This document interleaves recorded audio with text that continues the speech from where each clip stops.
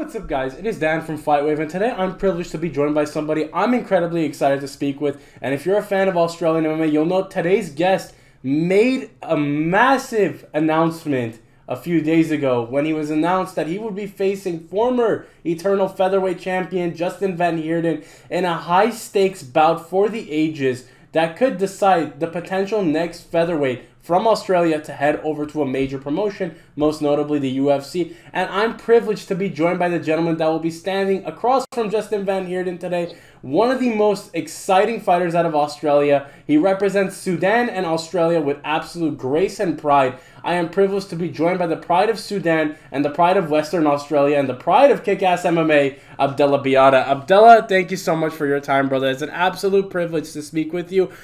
Abdalla, you know how to make a statement, by the way. You know, this fight with Justin absolutely threw everyone off their feet, swept everyone off their feet. Talk to me about how you're feeling now that the news is finally out and you get to settle the score with Justin.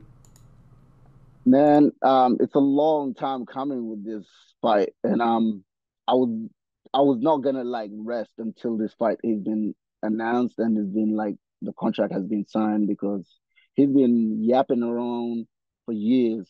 He's been telling uh, he's been telling everyone I'm irre- irrelevant. I'm not the real champ. I'm not the featherweight champ.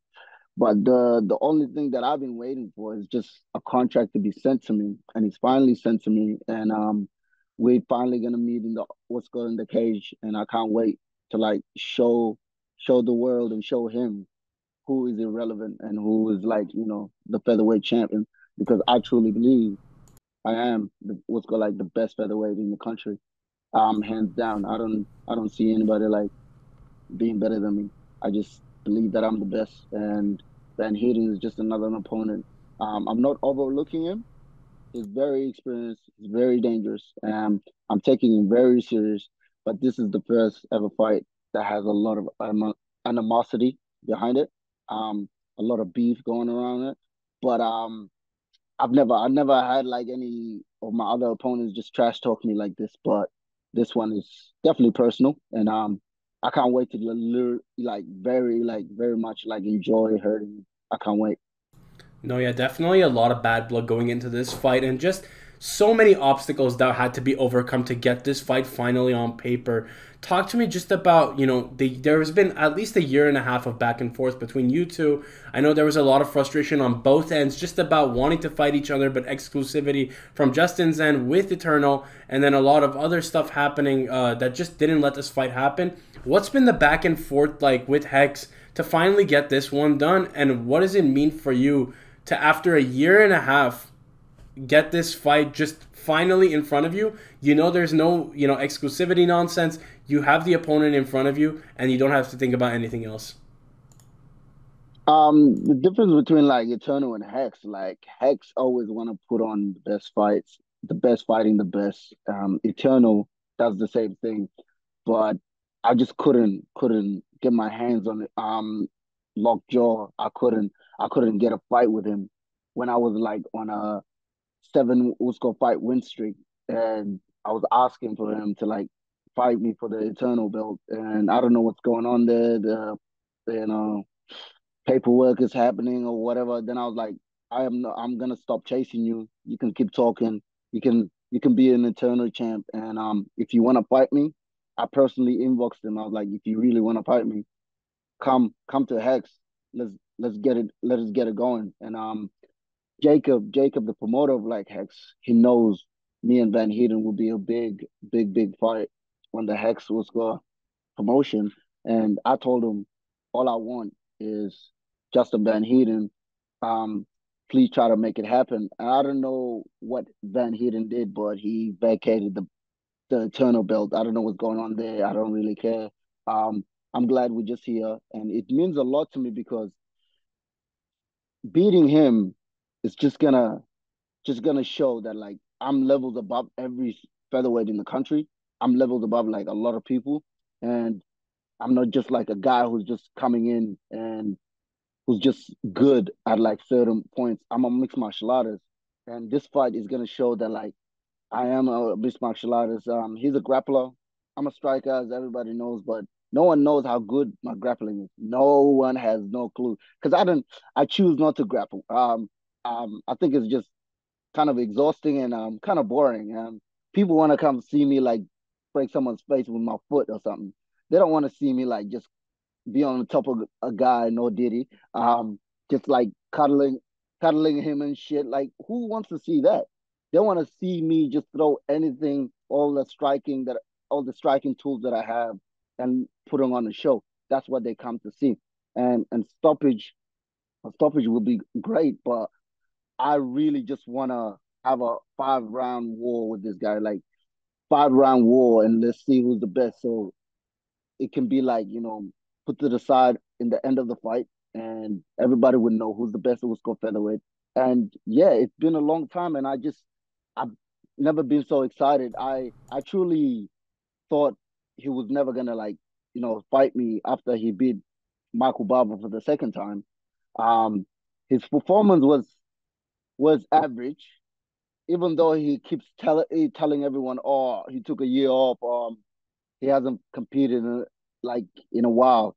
I'm like, bro, like you fight exactly the same.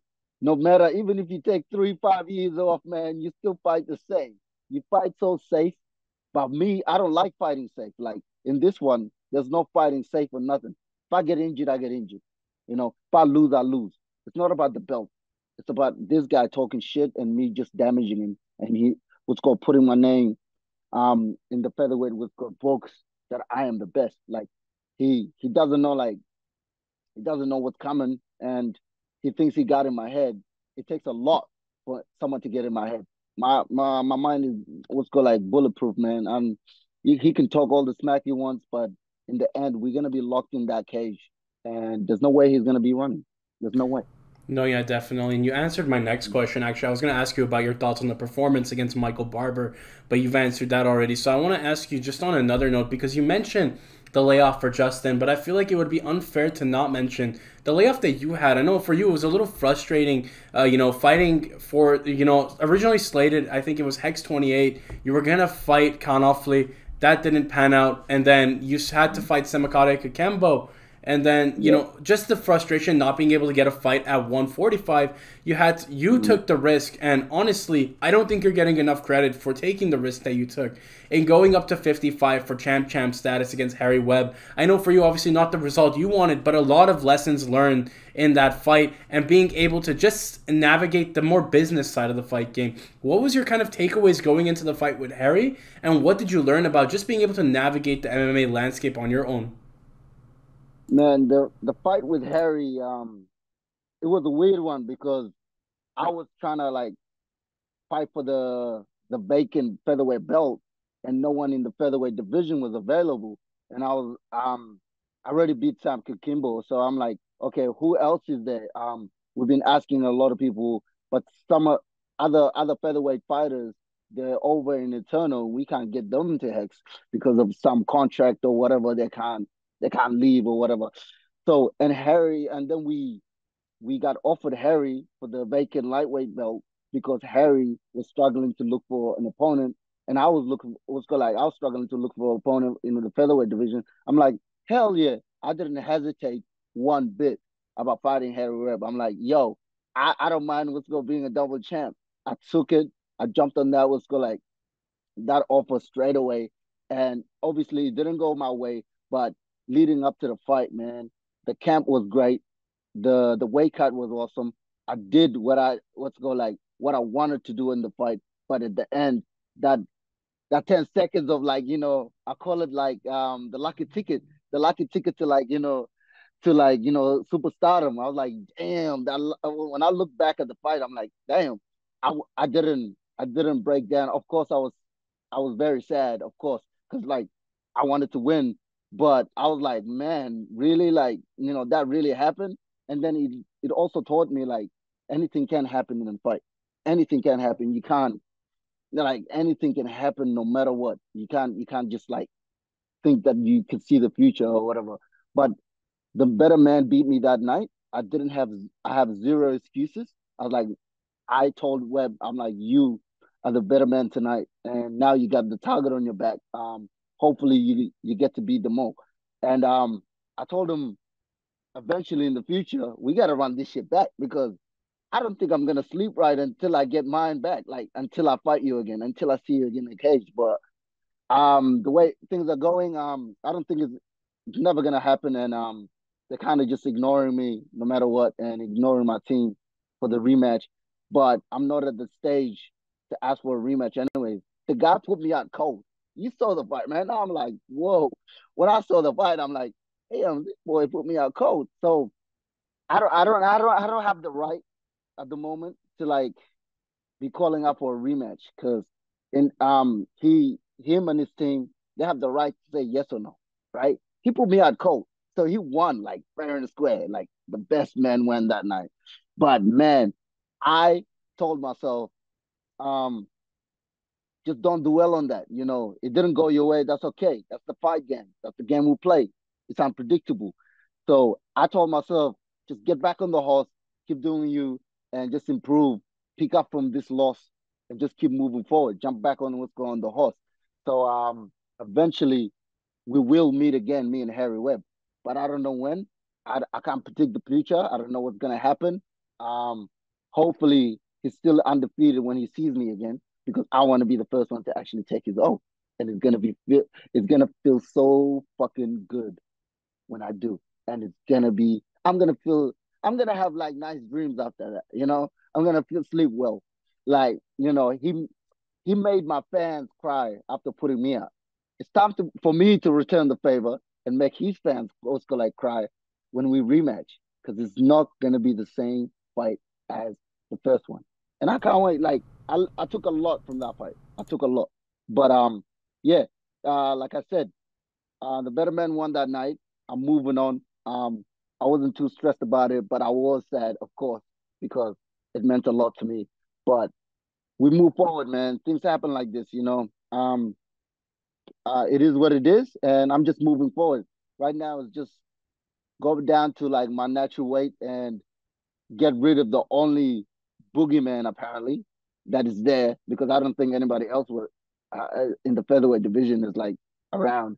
So get rid of him and um certify my name in the featherweight what's called like you know books as like the best featherweight out there, and then thinking of just going back again and just you know trying to make an, another run for the lightweight belt. But hopefully everything goes well. Hopefully everything goes well. No, yeah, absolutely, and you know just the class that you exhume, Abdalla, and even handling a loss with such grace, it speaks volumes to the character of that you have. And I wanted to touch on something because, of course for you, defeat, this isn't the first time you've lost, but the last time you lost, we saw the evolution of Abdalla Biayda. Still very, you know, we spoke last time a lot about mindset and getting in the killer's mindset. The art, your canvas is your art, you know, the canvas is your artwork, and the way you paint a painting in the in the octagon itself is a big part of what constitutes a fighter's kind of legacy. And I know for you, you know, we've seen the evolution across your young career thus far. The last time you lost prior to Harry Webb, we saw you go on a remarkable seven fight win streak. And we saw your mindset and kind of overall appreciation for the game flourish with every fight that you had. What's it been like for you to kind of navigate the mindset through the losses and be able to still come out and almost feel like you've leveled up despite the result? You know, put the result to the side, you come out even sharper in mindset almost after a loss. What's it been like for you to be able to navigate and learn through these experiences? I truly, I truly know what I can do, what what I'm very capable of. So I don't really dwell on like you know the um the result, the wins and all that, and the losses. As long as my mind is uh, like very strong and bulletproof, I will still bounce back and stronger than ever. That's one thing that like I always know deeply within within myself. I'm a hard worker, man. Like I, I'm always in the gym. I'm always like try to evolve. I'm always taking advice. I'm always trying new things because I want to better myself because one day there's to be a day, there's to be a day that like I will be unstoppable and no one is going to figure me out. And I know that. So for me to like think about giving up, what the fuck is giving up? Because if you give up, you're basically telling you the world and telling yourself you're a loser. And that's not what I am. I am not a loser. I know I'm not a loser. I'm a winner, and I win in every aspect of like anything, life. You know, the game that I play, I win everywhere. So I always have to keep my mind bulletproof and just keep going no matter what. Like the two losses that I have in my professional careers, everything went well. Like the camp leading up to the fights, and then I just come short. It doesn't make sense to me. But like it doesn't like it doesn't, you know, tell myself to like, you know, reduce the work rate. Nah, the work rate is still high. I'm still like, you know, working and evolving and taking a lot of knowledge and experience because because that's how that's what part of the game is. Sometimes you're the nail, sometimes you're like, you know, the hammer. And you know, you gotta take it how it comes, but you know, you can't predict the future. But those two like these two losses, especially this recent one, the Harry Webb one, it woken something inside me. I don't know what it is, but it woken like probably a demon. Now I'm just like, yo, I, I, oh yeah, I'm just like a hundred term. It's a moving world right now, and I think everybody's gonna be hurt whenever I just see anybody across from me. Everybody's gonna be hurt because I think I was just like chilling out a little bit leading up to the um because I was on a like seven fight win streak, and it's kind of my fault. I was in um, I got too comfortable. I got too comfortable. I'm like, ah, I'm gonna win another. You know, I got too comfortable, but my work, my work rate was still high, but my mindset of like, you know, staying true to to myself and being strong, strong minded, kind of like fell down a little bit because I was like, nah, I'm gonna run through them like I do with everyone, and that was my kind of fault. And um, it was a learning curve, and um, I'm probably not gonna do that ever again. And that's probably what cost me the fight a little bit. But even though I I did what I wanted to do, but I, I think it cost me the fight a little bit because I was like, oh, just another fight kind of thing.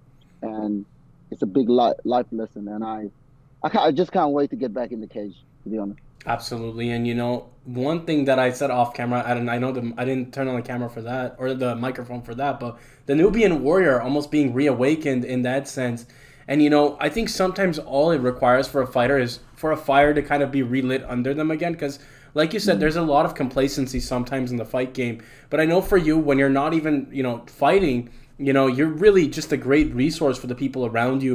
You've been a leader in, in the WA fighting scene for quite a while, ever since you started you know, just the way you've been able to carry yourself both through amateur and professional, you've done great things. And there's an infamous text uh, that I think Moses Deng shared on his story. You texted him 6 a.m. I think work workout 6 a.m. and it speaks to the quality of leadership that you possess. I want to ask you, just in the time away from from the fighting. What's it been like for you to encompass this leadership role for the fighting community in WA? And what does it mean for you to kind of see the people showing up, you know, when you say something, your word holds weight. What does that mean for you? And how does that motivate you to continue to go on for bigger and better things? Um, ever since like I've been a young, young teenager, man, um, I knew I was a leader. You know, I knew I was a leader. So I'm very careful what I say. I'm very careful wh- when I use my emotions. I'm very careful in like what I do in front of like the people who look up to me. And um, I don't want them to like think this type of way. I'm always gonna be myself, no matter what, and that's that's the true um character of myself. And me, just to like doing me and just like watching them observe, that's that's good enough for me. And to see that like I just always work and always try to push forward, no matter what happens, no matter what life throws at me, I'm still gonna try to find ways to like you know work either work around it or just like I was gonna use it as fuel. And people see that, and the people around me always see that, and um, and I really just like it. Kind of like they, I never tell anybody, but it kind of like just drives me more to to keep going and just to keep being me and keep to keep driving. And it's fucking amazing, like how like whatever I say, like people take it. It kind of shocks me sometimes. I'm like, oh, oh, listen, oh, someone, oh, they're listening.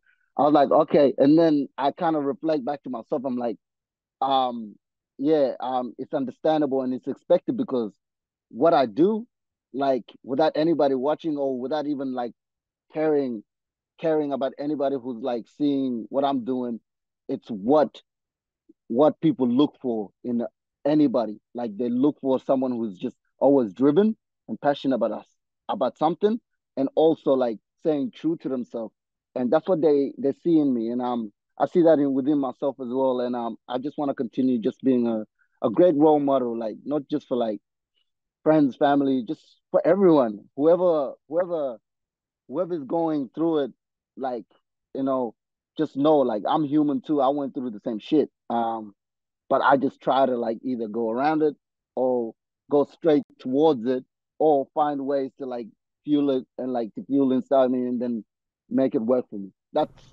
it kind of like just drives me all the time to just keep doing I'm yeah, doing like that quote from Moses, man, I didn't know you I didn't know he told you that. But like yeah, we do um we do sprint like early in the morning, man, like and we just have like nice cats whenever like we're driving down to the um, to the to the to the beach for the sprints. Yeah. Um, and it's fucking it's just like amazing, like how we like both of us just click and how we we're trying to get to to the top and what it takes to get to the top. And it's great to have those kind of characters around me, and um, it kind of fuels you up no matter what. Um, just uh, yeah, like that's that's the goal. Just to stay stay doing me and just keep being me, and no one is gonna tell me otherwise. That's basically it. Absolutely. And, you know, I said at the beginning of 2024, it's going to be a pseudo takeover in 2024, to say the least. And, you know, like you said, you know, just doing you and others eventually following. People recognize hard workers. And Abdalla, I want to thank you so much for your time and, you know, just for the privilege to have this quick chat with you ahead of what's going to be the biggest fight in your career. I have no doubt about it. An exciting fight for the fans. And I want to ask you just on one final note. Of course, this fight with Justin is as big of a fight as you can get in the Australian regional circuit. It's a fight with potential UFC implications on top of it. A win over him that puts you in a very solid position to potentially make your debut at UFC 305 in Perth, surrounded by friends and family. Talk to me about your goals for 2024 and what a win over Justin Van Heerden would mean for you in terms of your pursuit towards MMA greatness. Like for me, I don't, I don't, I don't have a notepad that says I'm gonna write things down and like tell myself, oh, I'm gonna do this. Nah, like I just navigate through life, man. You know, because life is so unpredictable. You can set goals for yourself here and here and there, and things will come between it, and like they will shut the whole thing that you wrote down or had in your mind. But for me, I'm just flowing through life. I'm enjoying life, and no matter whatever happens, man, like that's the goal. Like to to make my debut in the UFC, um, UFC in Perth, it'd be great to see my friends and family just like this, watching watching what I've been doing for the for the last five years and the hard work that I put in and the sacrifices that I that I've made just to like get to this stage. It would mean a lot to me. And for me, I'm just like not try to like look into the future. I'm mindfulness. I'm just like trying to stay present as much as possible. And whatever happens, happens. And if it does, like win or lose, um, win or lose. If I win, I'm always calm. If I if I if I lose, I'm still calm. So no matter what happens to me, I'm still calm. So I'm just always trying to like just be grateful and graceful every single time, no matter what I like. Just take things what's going one at a time. Absolutely, and you know what a better way to do go about it than in the biggest fight of your life, Abdalla. I want to thank you so much for your time, and to the fans at home watching, do be sure to check out Abdalla Biayda versus Justin Van Heerden, the biggest fight in Australia right now. There is not a bigger fight in the entirety of Australia than this clash of featherweight titans on June 14th at Hex Fight Series 31. Do be sure to check it out. I will be linking Hex's social medias in the description down below, as well as Abdalla's. Check out the fight, support your local fighter. I said at the beginning of this year, the amount of Sudanese talent that's coming out of Australia right now across several different sports is something to behold. Abdalla is just a small portion of that, but a massive portion in the same sense. Do be sure to check him out on social media. It's been me, Dan from Fight Wave. Hope you guys have enjoyed the interview. Do be sure to like, comment, subscribe, and have a great day, guys.